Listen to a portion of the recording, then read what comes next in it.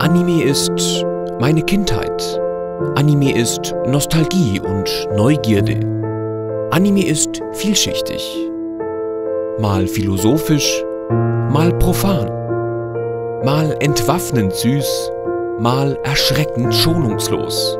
Und ab und zu ganz schön grotesk. Anime ist magisch. Anime ist Kinozauber. Anime ist kontroverse Kunst und leider noch immer sehr klischeebehaftet. Anime ist mein täglich Brot. Meine Motivation. Mein Hobby. Meine Leidenschaft. Mein Job. Anime ist